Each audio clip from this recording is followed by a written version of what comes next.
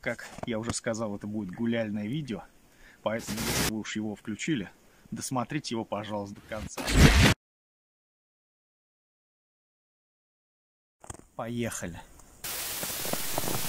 Я буду говорить на эту камеру. Здесь микрофон плохой, но что я хочу сказать. Вот я лишний раз пришел к выводу, что в такую погоду надо ходить в этой, в зимней куртке. Вот, к примеру, если бы мы реально заблудились, да, то мы бы конкретно замерзли. Мы бы прямо, ну, образно говоря, от холода дрожали. В таких вот перчатках с обрезанными пальцами, да. Хотя у меня есть белые перчатки, эти, строительные. Но сейчас это не главное. Мы, разумеется, с собой взяли теплые жилетки. Если что, под куртку мы бы оделись. У нас, тем более, они лежат в рюкзаках.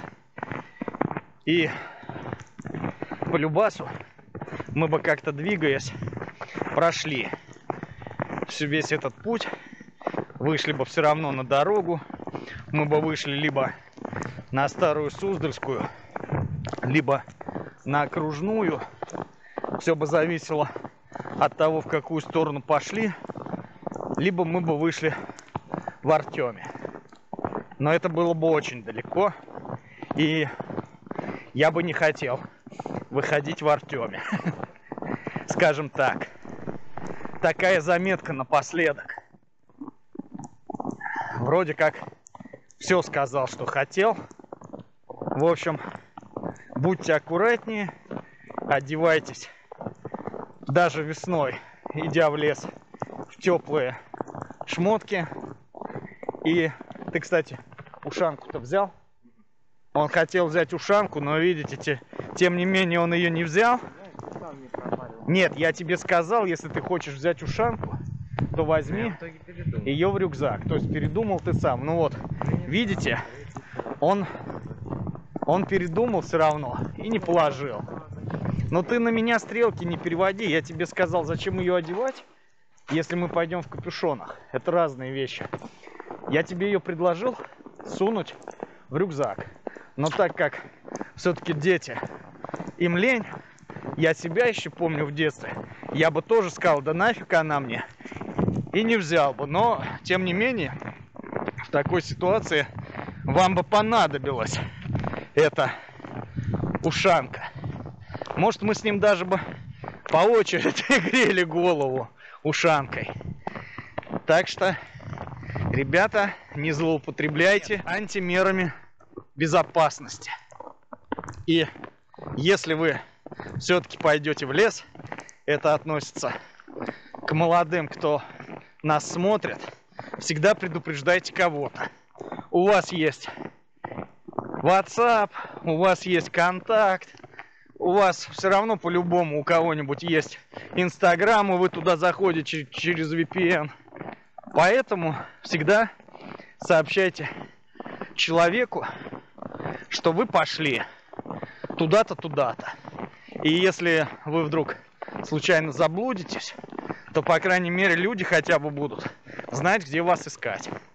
Вот теперь, наверное, точно все. И на этом месте всем пока. Увидимся в следующем видео. Это будет дополнение к видео, где мы заблудились в лесу. Вот я об этом говорю всем.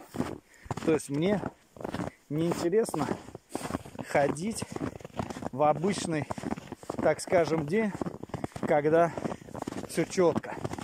Мне интереснее вот такое время, хотя снег уже стал идти меньше, буквально минут 40 назад он валил вот такими хлопьями. Это как раз мы пробирались по всем этим зарослям в лесу. И не знаю, как Сереге, мне жутковато, конечно, не было, но у меня был такой вопрос – какого хера я вообще заблудился в трех соснах? Ты как? себя в этот момент и ощущал? В плане. Ну, не очканул, ничего. Не. Ну, лишь молодец. А я думал все равно, как так вышло. Вот почему я и не хочу ходить по старым маршрутам, по всем вот этим лесным тропинкам. Ну, какой кайф, я это все видел. Мне это как бы уже ни о чем. Можно сказать, что нам не хватает там адреналинчика, да? Я бы сказал, нам не хватает не то что адреналинчика, а прямо, как говорится, это кайф получше всяких разрешенных средств, которые можно выпить. Намного интереснее. Заблудились в лесу. Вот это адреналин. Но при этом надо иметь этот, как его, все-таки какой-то электронный прибор, который по спутнику вас выведет. И, кстати, да, Google исключите. Ищите альтернативные источники. Походу Google над Россией больше не работает. Слушай, я что думаю, пойдем по тропинке? Ну потому что, чтобы вот так не петлять, тут мы сейчас прямо и прямо. Или что, или по дороге. Ай, вот ведь дилемма. Ну что? Ай, пойдем тогда по дороге. Хотя... Не, пойдем здесь. Здесь, блин, ровнее. Не хочу я по дороге ходить. Тем более мы объездили за последние сколько? С 2016 года. Я объездил уже весь район. И мне не особо, ну как сказать, нету вообще никаких мест, которые бы я уже не видел. Но если только доехать до озера Пакина, вот, и посмотреть там, что творится. А больше-то некуда. Остальное все проверили. Вот мы купили себе рюкзаки, купили спальники. И, скорее всего, мы летом будем уже ходить куда-нибудь на дальние дистанции. Вам, кстати, причина, почему в этом лесу нельзя делать никакие землянки, ничего. Ну, вот приедут вот так лес пилить и найдут вашу землянку. Потому что тут как такового леса-то нету. Но, с другой стороны, если бы не эти вырубки, мы бы, получается, сегодня заблудились, и хуй знает, в какую сторону бы мы вышли. Так что было весело и познавательно. В чем ошибка? А мы забыли сегодня включить страву понадеялись на Google, но забыли, что Google-то Россию кинул.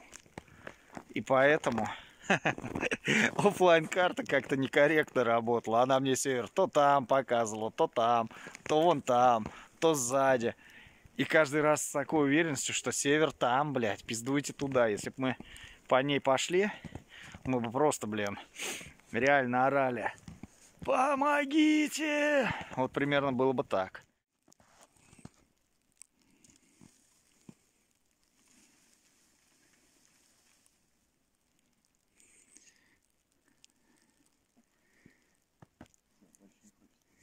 Ну он насколько выше оно стало.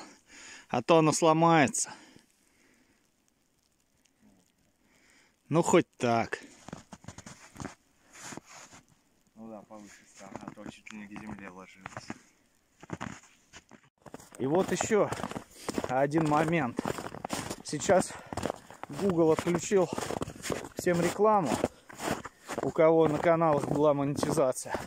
У меня она была, и сейчас появилась возможность снимать вообще все подряд. То есть изначально мы этот канал начинали для себя и для своих друзей. Потом нам каким-то непонятным для меня чудом пришла монетизация, на мое удивление. Мы даже не рассчитывали с нашим контентом, что у нас это выгорит дело. И вот когда это дело выгорело, один всем известный человек сделал так, что у русских больше нет монетизации. Так что, ребята, теперь мы будем снимать все подряд, снова для себя. Вот.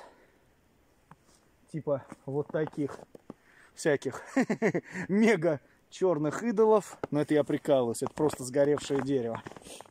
Спрашивали тут у меня, что у меня за Юмани кошелек такой появился в описании. То есть спрашивают у меня в реале, да, отвечаю я всегда через интернет. Мне посоветовали так сделать. Еще в момент, когда была монетизация, сказали, что это как бы в современном мире нормальная практика. Люди, кто посчитают нужным, сами положат и не надо ни у кого ничего, образно говоря, просить и ждать ни от кого ничего. Просто сделал и пусть висит. Вот как-то так. Поэтому и появился этот счет. Вот ведь как интересно. Снег-то уже закончился. Практически мелкими снежинками идет. А как валил. Вон дорогу-то. Следов-то вообще не видно. Хотя здесь вон под елками все. И вон стоит какая-то тачка. Очередной, как я называю. Ладно, воздержусь. Все, уехал бледовоз. Что-то быстро, больно уехал.